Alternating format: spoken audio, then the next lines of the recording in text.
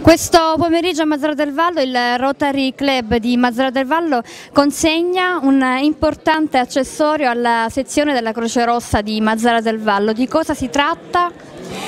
Allora, noi abbiamo voluto fortemente questo momento, eh, è un, la donazione di un defibrillatore eh, che doneremo al comitato locale della Croce Rossa, riteniamo che sia una, un momento importante per tutta la comunità mazzarese perché questo è uno strumento che sarà in dotazione alla Croce Rossa ma che sarà messo a disposizione di tutta la nostra, di tutta la nostra città, un defibrillatore è uno strumento importante importante eh, che può salvare vite umane, quindi questo per noi è un momento veramente di grande emozione e di grande commozione. Diciamo che questo è quello che vogliamo noi fare del Rotary, vogliamo che il Rotary sia al servizio della, della comunità locale e laddove è possibile poter soddisfare eh, le esigenze e i bisogni della, della popolazione. Con noi anche Mariella Quinci, commissario del Comitato Locale della Croce Rossa di Mazzara del Vallo. Eh, quello di oggi è un evento importante, sarà utile?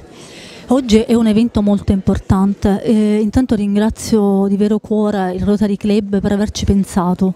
Eh, il defibrillatore è una cosa importante, non è solo di Croce Rossa ma di tutta la cittadinanza. Eh, un grazie anche al dottor Sparacino che è il coordinatore del Centro Regionale Trapianti per essere qui oggi insieme a noi.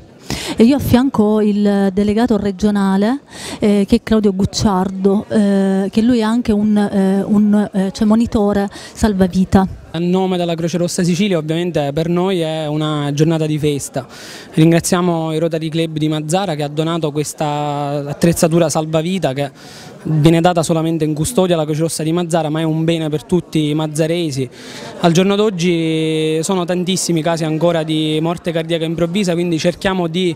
prevenire questo problema sul territorio donando il defibrillatore semiautomatico e formando i cittadini all'uso dello stesso. Canto a me il dottore Sparacino, un evento importante quello di oggi anche per sensibilizzare la popolazione verso queste tematiche e soprattutto essere eh, attivi appunto anche nel donare nel volontariato.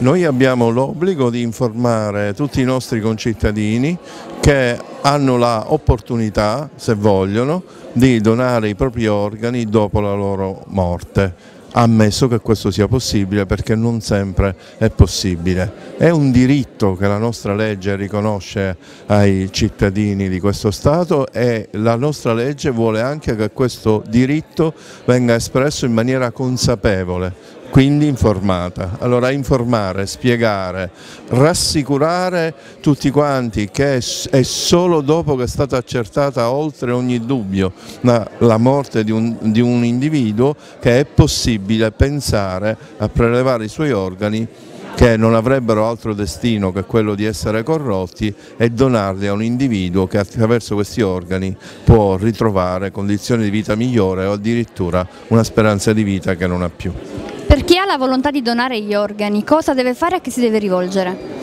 Può fare una cosa molto semplice, dirlo